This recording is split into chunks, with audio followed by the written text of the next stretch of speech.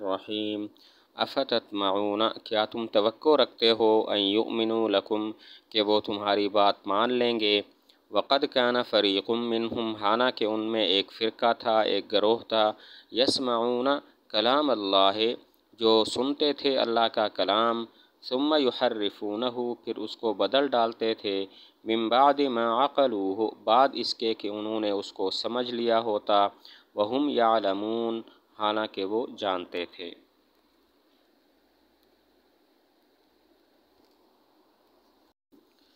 अफ़तत माऊना ये ख़िताब हजूर सल्लल्लाहु वसल्लम और तमाम मुसलमानों के है और युमिनों की ज़मीर का मर्जा यहूद हैं।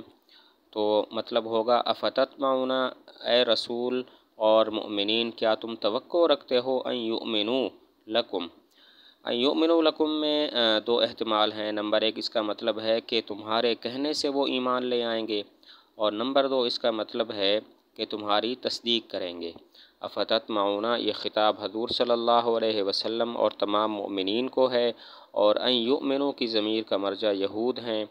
तो मतलब हुआ ए रसूल और मुसलमानों क्या तुम तवक्को रखते हो? युमिन लकुम। इसमें दो अहतमाल हैं। नंबर एक, तुम्हारे कहने से वो ईमान ले आएँगे और नंबर दो, तुम्हारी वो तस्दीक कर लेंगे। वक़द कान फ़रीक़ मिनहुम यसमाउन कलाम अल्लाह कलाम अल्लाह से मुराद यहाँ पर तौरात है कि उनमें से एक गरोह ऐसा था, उनमें से कुछ लोग ऐसे थे जो अल्लाह का कलाम यानी तौरात को सुनते थे। सुम्मा युहर्रिफून हो मिम्बाद माक़लू हो वो बग़ैर शक व शुबा के उसे समझ जाते थे और फिर भी उसको बदल डालते थे, तहरीफ़ कर देते थे, जैसा कि हजूर सल्लल्लाहु अलैहि की सिफ़ात और रजम की आयत में उन्होंने तब्दीली और तहरीफ़ की।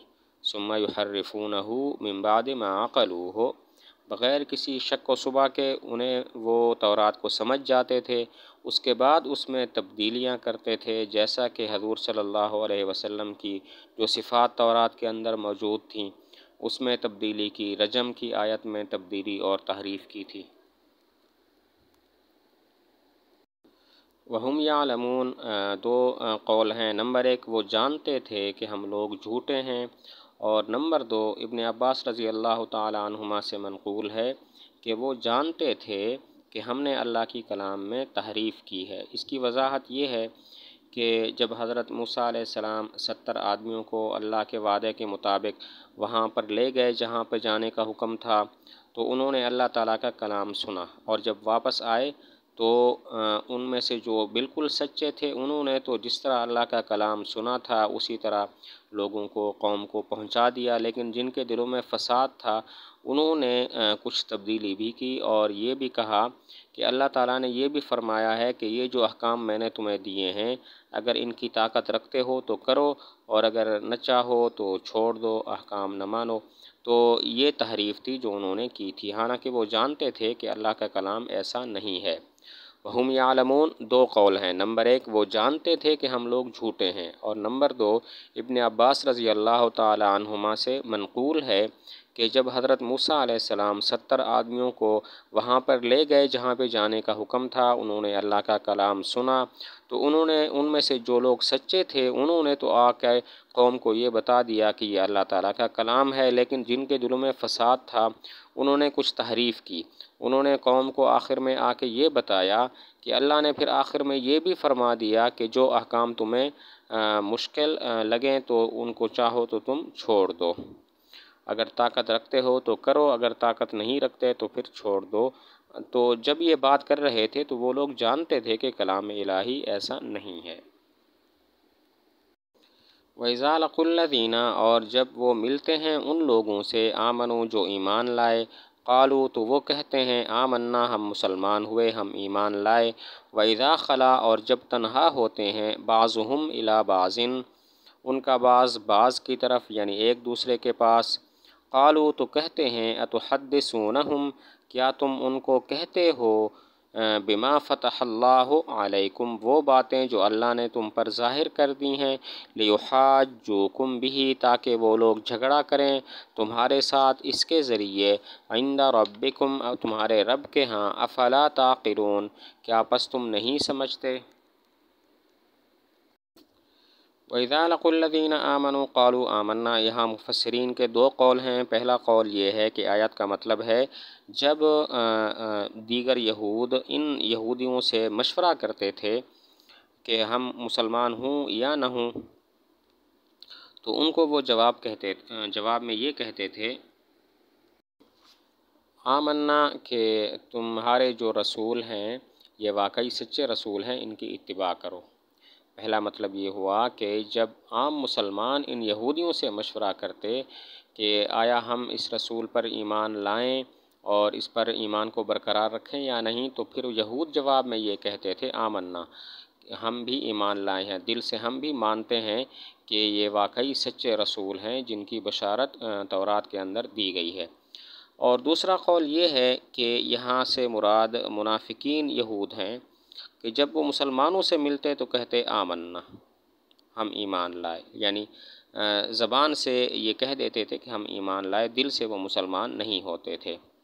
वैदालकुल्लिन आमनु कालू आमन्ना, यहाँ मुफसरीन के दो कौल हैं। पहला कौल ये है कि जब हकीकता पक्के मुसलमान इन यहूदियों से मशवरा करते जो उनमें से कुछ जानते थे, इल्म रखते थे कि क्या हम अपने इस रसूल पर इत्तबा को बरकरार रखें? क्या ये सच्चे रसूल हैं तुम्हारे मुताबिक? तो वो लोग जवाब में कहते, यहूद जवाब में कहते, आमन्ना, दिल से हम भी कहते हैं कि ये वाकई सच्चे रसूल हैं, जिनकी बशारत तौरात के अंदर मौजूद है। तुम इनका इत्तबा करो और इन पर ईमान लाओ। जबकि दूसरा कौल इब्न अब्बास रज़ी अल्लाह तुमा फरमाते हैं कि यहाँ पर मुनाफिकीन यहूद मुराद है। यहाँ पर मुनाफिकीन यहूद मुराद है कि वो ख़ालिस मुसलमानों को कहते थे, आमन्ना, कि हम भी तुम्हारी तरह ख़ालिस ईमान लाए हैं। ये सिर्फ़ ज़बान से वो कहते थे, दिल से वो मुसलमान नहीं हुए थे। वैदा खला बाज़ुम इला बाज़िन कालू अतहदसूनहम बिमा फ़तः फ़तहल्लाकुम लिहाजुकुम बिही आइंदा रबिकुम इस आयत का मतलब ये है कि जब वो यहूदी एक दूसरे के साथ तन्हाई में मिलते तो कुछ यहूदी जो मुसलमानों को बताते थे कि तौरात में वाकई हजूर सल्लल्लाहु अलैहि वसल्लम की सिफ़ात मौजूद हैं तो दूसरे यहूदी उन्हें कहते, ए बेवकूफ़ ऐसी बातें मत करो। लिहाज जो कुम भी ऐसी बातें मत करो जो अल्लाह ने तुम पर ज़ाहिर कर दी हैं कि हजूर सल्लल्लाहु अलैहि वसल्लम की सिफ़ात तौरात के अंदर मौजूद हैं। कहीं ऐसा ना हो कि अल्लाह के यहाँ क़्यामत के दिन ये तुम्हारे ख़िलाफ़ हजत बाजी करें और बताएँ कि या अल्लाह इनको सब कुछ मालूम था, फिर भी ये ईमान नहीं लाते थे। वैदा खला, इसका मतलब ये है कि जब वो यहूद एक दूसरे के साथ तन्हाई में मिलते और कोई मुसलमान वहाँ पे नहीं होता था तो जो यहूद मुसलमानों को बताते कि तौरात में हजूर सल्ला वसम की सिफ़ात मौजूद हैं तो दूसरे यहूद उन्हें कहते ए बेवकूफ़ो, ऐसी बातें मुसलमानों को मत बताओ जो बातें तुम्हें मालूम हैं कि हजूर सल्ला वसल्लम की सिफ़ात तौरात के अंदर मौजूद हैं। अगर ऐसा करोगे तो क़्यामत के दिन ये अल्लाह ताला के पास तुम्हारे ख़िलाफ़ हजत बाजी करेंगे और कहेंगे, या अल्लाह, इनको तो सब कुछ मालूम था, इसके बावजूद ये ईमान नहीं लाते थे। यहाँ पर एक सवाल होता है कि अल्लाह ताला तो सब कुछ जानते हैं। तो फिर इन लोगों का ये कहना कि लिए हाज जो कुम भी अल्लाह ताला के पास तुम्हारे ख़िलाफ़ हजत बाजी करेंगे, इस छुपाने का क्या फ़ायदा हो सकता है? सवाल होता है, अल्लाह ताला तो आलिमुल गैब हैं, असरार जानते हैं, दिलों की बातें जानते हैं। फिर वो यहूद एक दूसरे को ऐसा क्यों कहते थे कि हजूर सल्लल्लाहु अलैहि वसल्लम की तौरात में मौजूद सिफ़ात न बताओ, छुपाओ? इस छुपाने का फिर क्या फ़ायदा हो सकता है? क्योंकि अल्लाह ताला को तो सब कुछ मालूम है, फिर वो ऐसी बातें क्यों करते हैं? जवाब ये है कि वाकई ये बात सही है कि छुपाने से कोई फ़ायदा नहीं हो सकता था, लेकिन वो अपनी गायत बेवकूफ़ी और हमाकत की वजह से ये बात कहते थे और समझते थे कि छुपाने से ये बात छुप जाएगी।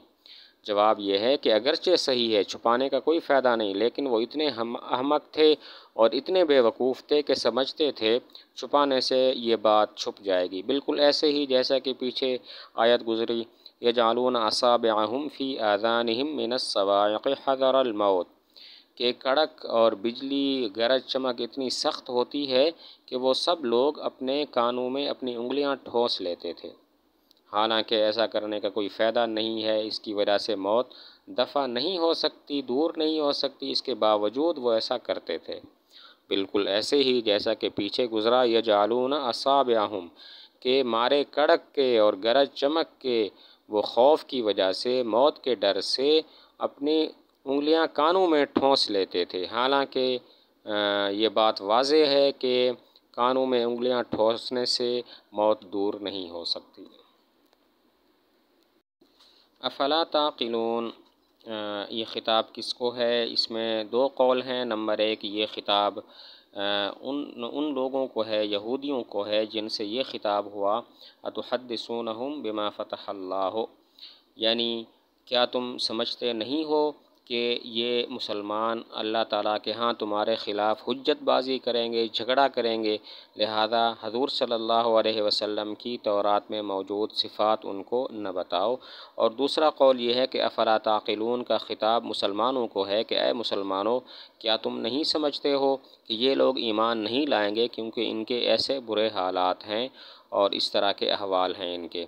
अफला ताक़िलून का ख़िताब किसको है? दो कौल हैं। नंबर एक, इसका ख़िताब यहूदियों को है, जो उनसे दूसरे यहूदी करते थे जो उन्हें कहते थे अतहद अतहदसूनहम आखिरी क्या तुम इनसे ऐसी बातें करते हो कि जिसकी वजह से ये अल्लाह ताला के यहाँ तुम्हारे ख़िलाफ़ हजतबाजी करेंगे? अफला ताक़िलून, क्या तुम्हें ये बात समझ नहीं आती? दूसरा कौल ये है कि अफरा ताक़िलून का ख़िताब मुसलमानों को है कि अय मुसलमानों, क्या तुम नहीं समझते कि ये लोग ईमान नहीं लाएँगे? क्योंकि इनके अहवाल ऐसे हैं जिनसे लगता है कि ये लोग बिल्कुल भी ईमान नहीं लाएँगे।